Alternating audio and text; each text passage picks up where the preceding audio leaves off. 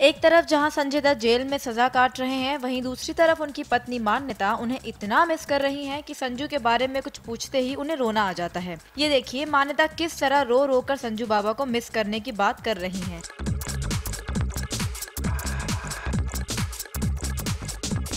और साथ ही फैंस को उनके आने वाली फ़िल्म पुलिसगिरी देखने के लिए भी कह रही हैं। फैंस को आ,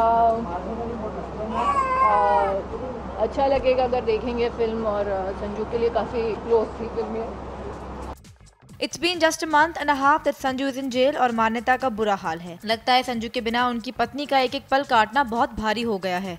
बॉलीवुड कंट्री रिपोर्ट